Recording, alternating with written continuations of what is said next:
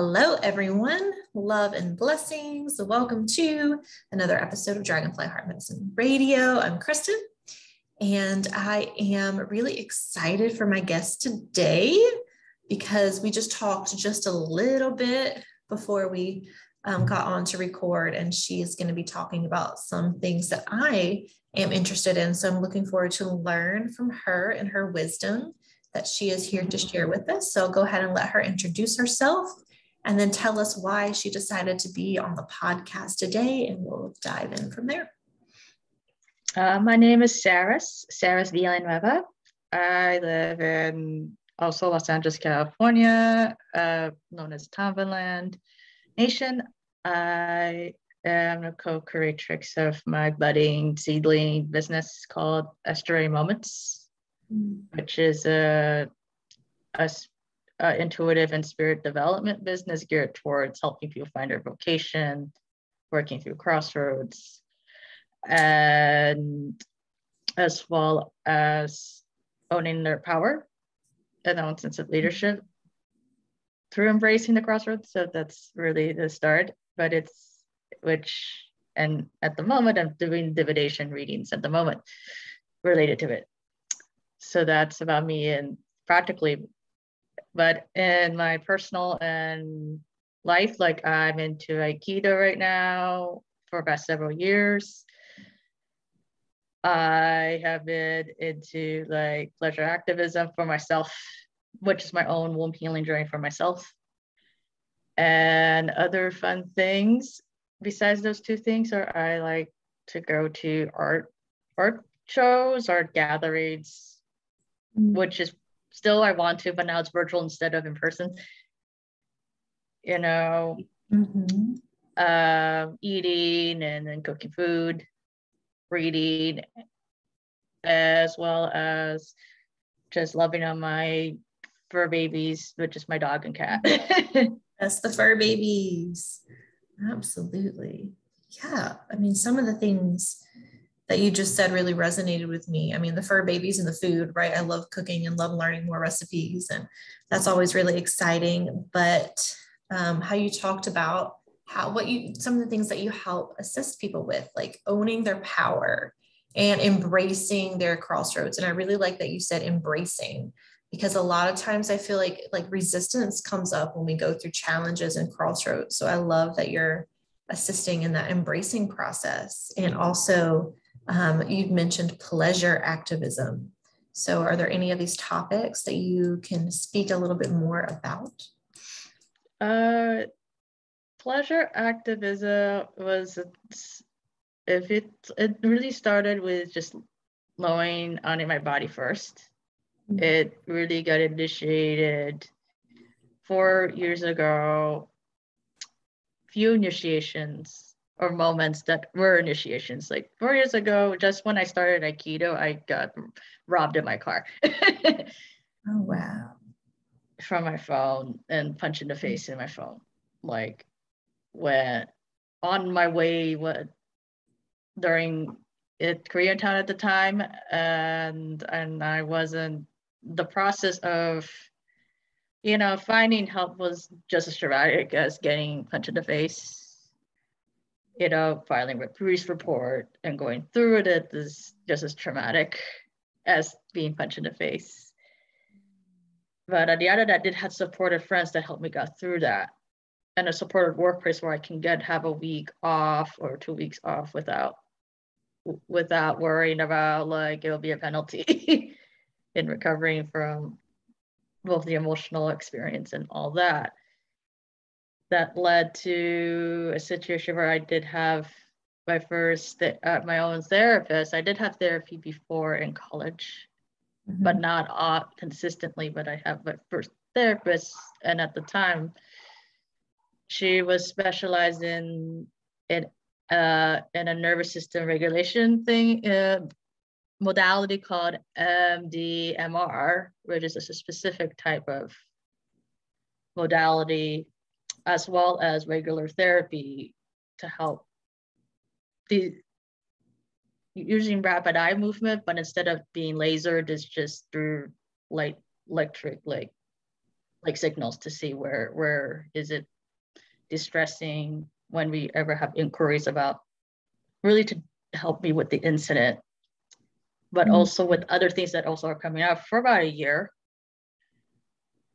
on top of regular therapy and then life got ready i wasn't able to continue it but it was covered by the victim the victims bureau which helped me covered and accepted my police report and covered that therapy at the time so mm-hmm. from there that that really initiated that part of realizing how important nervous system regulation is at that moment and being held in that space. And then another moment is when I have to either, you know, have an operation to remove a fibroid that's growing in my womb. wow. You know, which I had good medical care to do it, which I wish everyone had. You know, you know but that but i also know how what it's like when it when you have good medical care to go through it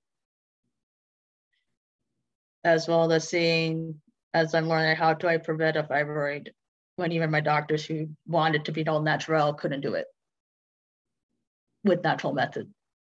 And that led to a journey of more deeper regulation in that area. And so through that journey, I learned the importance of regulation, not just only when relaxing, but honoring what your stress is at the moment. Mm-hmm. and embracing that moment moment as well and honoring your responses even whether it's from your own or from your ancestors or what that's when i mm-hmm. learned that wisdom.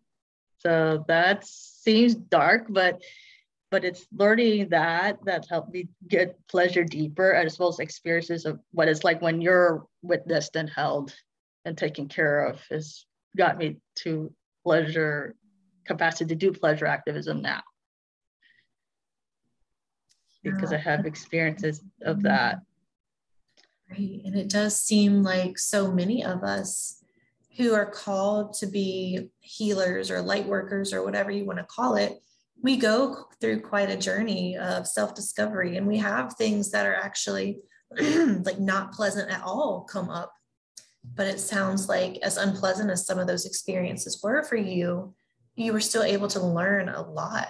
And now you can hold space for people who are going through similar things. Um, mm-hmm.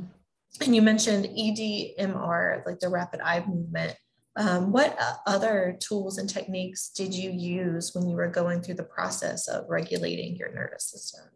Uh, besides like a great talk therapy, which helped, I did learn eventually encountered a work of Lumos Transforms. I eventually learned that. And it's local in Los Angeles. And what I learned from, they call it the resilience toolkit. It was just using different ways of equal, like internal observing and external observing to do it. And there's nervous system practices.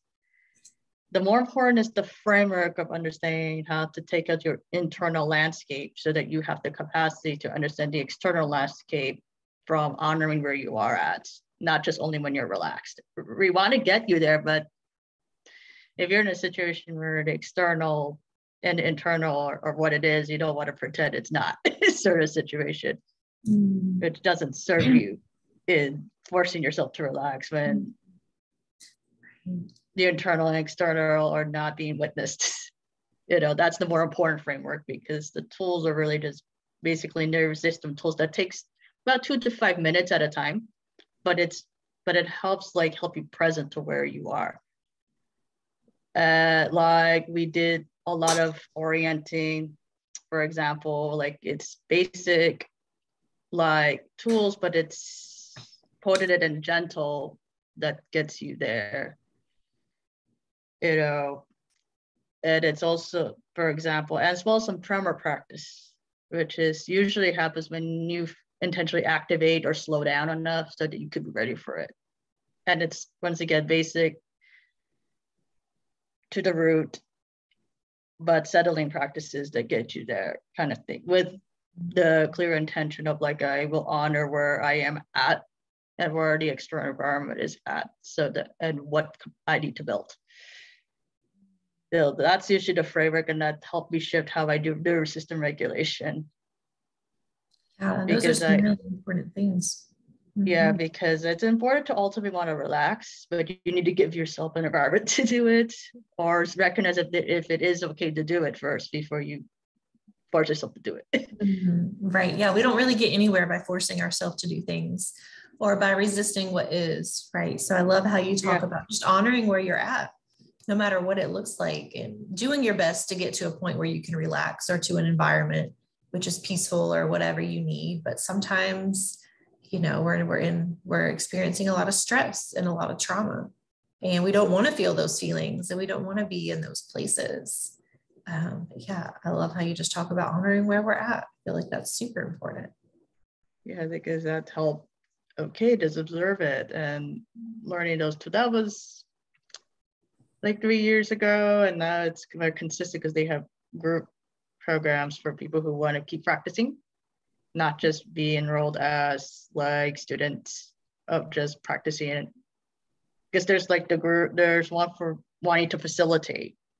Okay and then those who want to just practice it on your own time and then there's like a group you want to keep practicing there's a group programs for those who already went through like the, learning the skill on doing it for yourself and now you want to do it in a group together and i can tell you that through that is realizing like just be present to where it like that's important and and doing it in a group while still being proud makes a huge difference.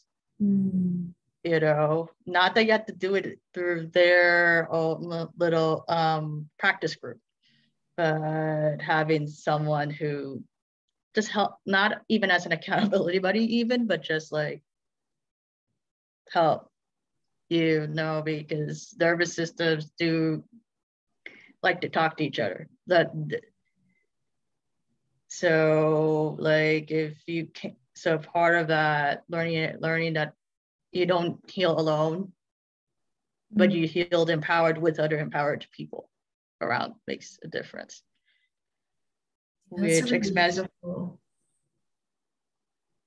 mm, really beautiful way to look at things, you know, um, to because I know sometimes if I'm feeling stressed out, but then I enter a room or I'm around a group of people who are a lot calmer, it kind of like starts to rub off on me. And then I start to feel safer in that environment when the people around me are calm, or even sometimes just being around people I know helps me feel safe and held and loved and supported. And so I like how you talk about the, you know, doing these things on your own first, but then also looking at doing them with a group. And is this technique that you learned something that you would like to like share and teach with others eventually or uh, i would eventually that? when i have be, be a trained facilitator okay. it, because it's not learning the techniques themselves is the holding space capacity to nervous system level.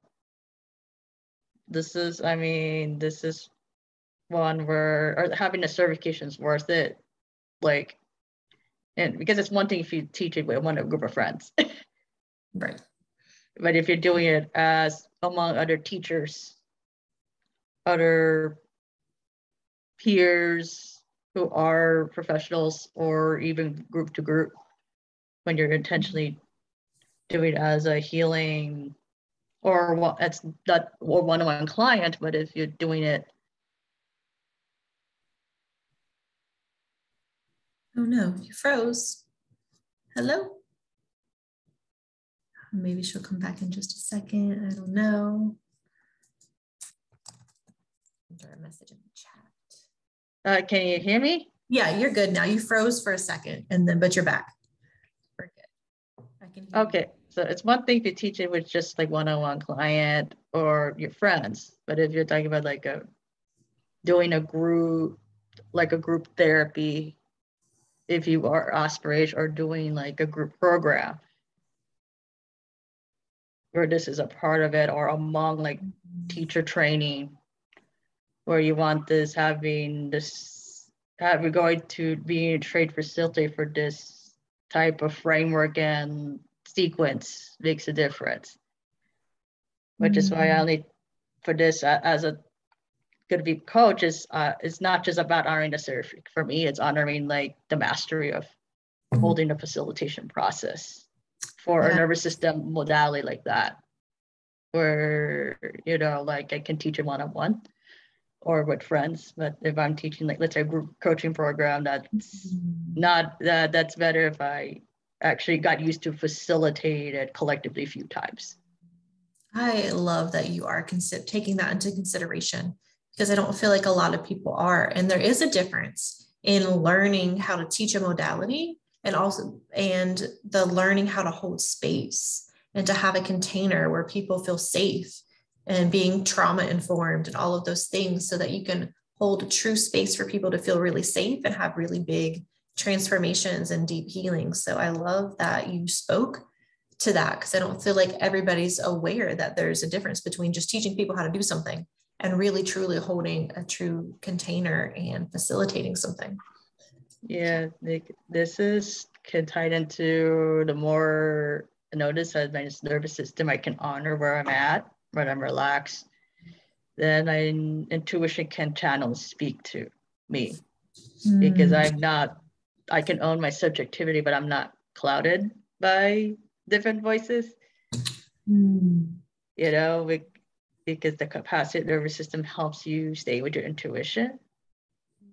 You know, which is very important when you are gonna be willing to hear like your your your, your spirit, your voice, your own voice and the wisdom that you have inside of you and sensing wisdom of others. It doesn't get talked enough that how much nervous system needs to be a big ally in expanding your capacity to deeply listen and receive these things. Because if you can't hold space for yourself at the level or allowed yourself to be held at a nervous system level, you're you will have a hard time following your intuition. Yeah, there's been several times where I am trying to make a decision about something, but I'm way too stressed out at the moment. And later that day, or maybe a few days later, when I'm calmer, I can see the situation from a completely different perspective.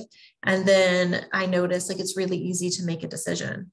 But when I'm in that like really strong, like fight or flight thing, it's like, yeah, I don't think straight. And I may only be thinking about the negative things or only the positive things or feel overwhelmed by the amount of decisions that are available. And yeah, it is definitely really hard to trust my intuition when I'm in those spaces for sure. Yeah.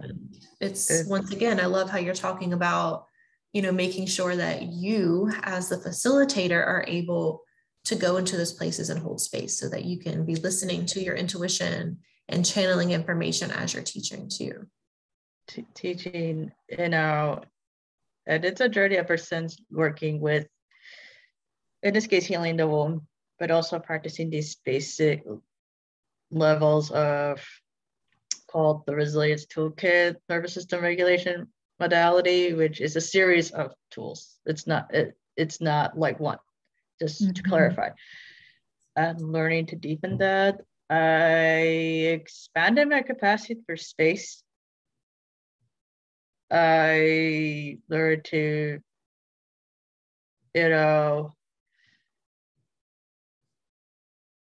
sense when my shadows are coming up, when the light and my shadows are coming up, not right away often, I'm human, but but I can, you know, be able to snap snap back and say, okay, I I don't have to make a decision right away because I just need to witness what's showing up for now. Like mm-hmm. I I can trust it. I am gonna do that. Like have more embodied self-trust. Mm. And a lot more nervously smart on when it comes to looking for, let's say, a teacher I want to learn or client I want to draw it or, or looking for when I'm looking for something or when I am be a drawing in spaces or, or let's say nervous system street smart which is something you can't implant someone in the head no matter how much you want us yeah um well and could you speak a little bit more about um like womb healing because I feel like a lot of women that I know, at least, have a lot of unhealed and unresolved things in that area. And it's manifesting as like, you know, skipping men- menstruation or having extremely like heavy flows and things like that. And I've heard from some people that when you start to focus on like who healing the womb and the divine feminine, sometimes those things that are happening physically start to shift and mm-hmm. change mm-hmm. a little bit. Did you notice that at all or can you speak? I did know I did notice it when I started doing my first womb healing womb healing. It started with healing my erotic energy first, which mm. read through meditation and breath work first with another teacher who is a friend of mine and which which also part of learning that is learning how to sense your your womb, your yoni, your your reproductive system, and then learning the heart and how to breathe in to make sure that your pelvic bowl is not so tight. mm-hmm. you know, because when you're breathing and you're breathing from the back, you realize you're armored up energetically mm-hmm. because because it shows back the back and here and and your pelvic bowls when you breathe it's like you can't expand so i learned to de-armor that and then and then i actually work with who does jade practice and and other th- and other like tantric things related which is a lot of it it's not just jade it's also learning like give yourself time to intentionally practice honoring my sensations of everywhere, not just with mm-hmm. having a breast massage, which I love that now. But you mm-hmm. know, I noticed that that my cramps before the erotic breath work, which is 2020 and 21, and then in 21 throughout basically two years, um, I would have cramps would be kind of, it's not horrible, but it's like annoying enough that I would make Facebook posts about cramps. Can you not be on vacation? Can you not mm-hmm. vacation this month? Can you be not be here? Yeah. I would do that. Do that. It doesn't debilitate. It's not really, but it's like it's annoyed mm-hmm. enough that I would make present Facebook enough posts. where you notice it. Yeah. Yeah, make Facebook post like at, as a joke because it's like, can you not visit? but now, because of that, you know, it's not so go having the menstrual period time isn't so miserable. Mm-hmm, okay. Even See, if it did cramps, it's like I know what to do now is to slow down. Mm. Even if I end up having it, I end up not pushing it before but most of the time it's become rarer and rarer that the cramping and the pain you know is so is not intense mm-hmm. you know it's just like some time right of you doing this breath no. work to notice a difference or did it happen like right away? With the breath work and the jade practice and then then sen- learning how to honor the sensations and the senses which as well as a lot of like self-pleasuring practice really let's just be transparent. It ends up it ends up like not the cramps are not as no longer be as painful that mm. i dread them like i don't dread the menstruation much mm. yeah that's huge because i know for so many women we dread it. We don't enjoy it. We are not looking forward to it and it is painful and can be really long lasting. Yeah, that's not dreadful anymore because it's like, oh my god, I this is what it's like to not have to be in so much like it um tolerate pain, you know what I mean? Like mm. you know, um feeling like it's there's always stressing out. mm. You know, you know what I mean? Like it's like you realize like you get the dull ache and you realize oh, it's normal, but then when it's taken away, like, oh my goodness, I don't, it's not. Oh my goodness, this this this is what it's like without this chronic this this chronic thing, this ongoing like dull ache every month that happens. Mm.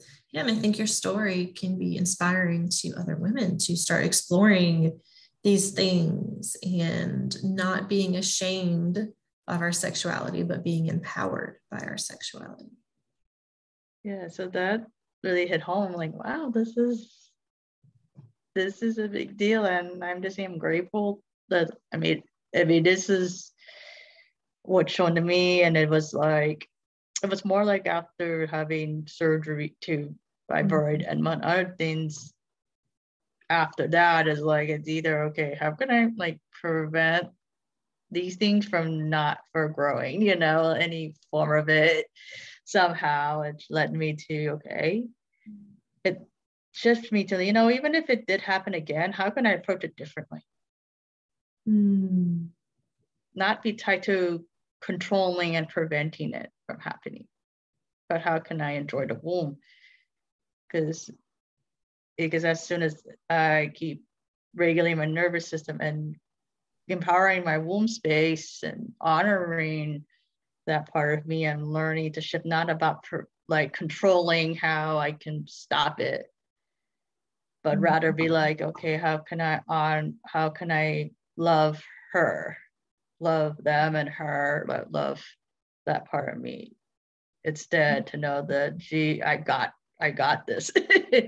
that's now right. the more important i got i got her and i uh, and we will work this out you know so it's no longer in fear which mm-hmm. made a huge shift because for a long time i still want to prevent it from happening again right mm, but just being open to the experiences and doing our best to let go of expectations and being it sounds like you're really really grateful for a lot of the tools that you've had over the past few years and um, are healing in some pretty really deep ways, you know, with um, several things, not just the womb, but it affects everything.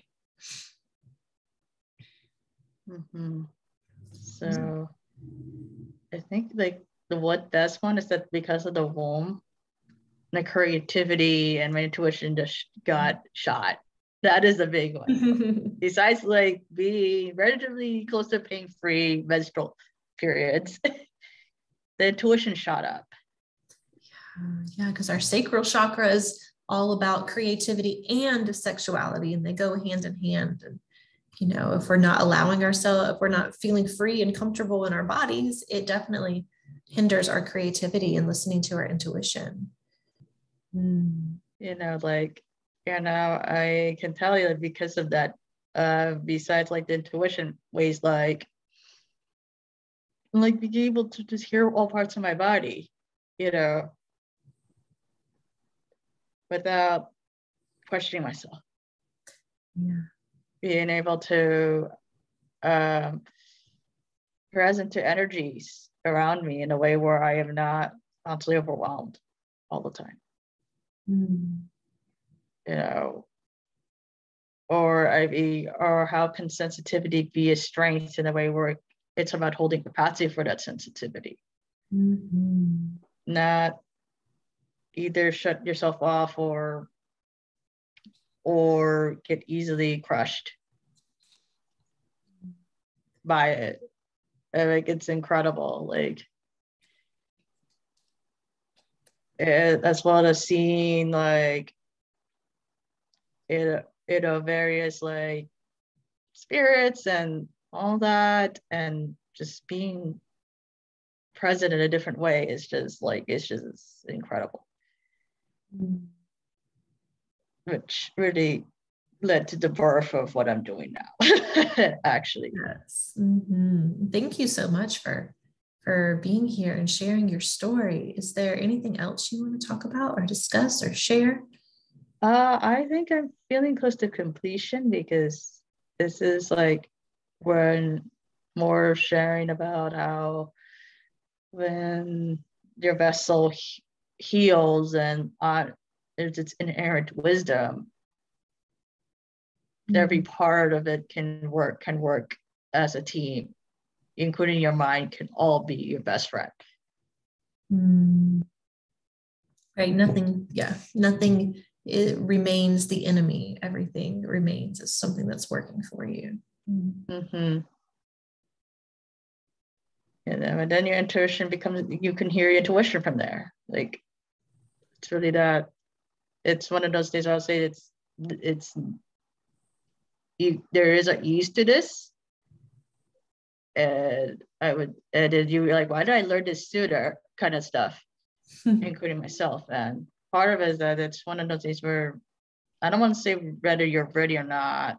I don't want to make that description, but it's more like it's there's ease to this process, but it's not sim but it's not it's there's a simplicity to it, but it's not easy mm-hmm. because there's a lot of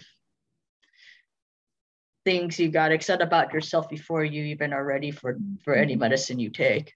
Yeah. Absolutely. And that's my final one is that you'll feel like horrible that that you didn't know what you know now, but mm. honored that you know you gotta be ready whenever you're ready, and that's what my vital thing is on nervous system. So if, if you're all worried like that you're not at a capacity you are, then it's not forever. Right. It's just not forever. Mm, thank you again for being on the podcast, for sharing your story and your wisdom. It was beautiful. And I'm glad that you are on this other side of things where you can really just start to notice differences in, in your life and how, you know, it wasn't easy, but it was simple. But it's pretty much just choosing you, choosing yourself, and choosing your healing above all else. Mm-hmm. And thank you to anybody who is watching or listening. I will put her information in the description in case you wish to contact her or know more about what she provides. Thank you and goodbye.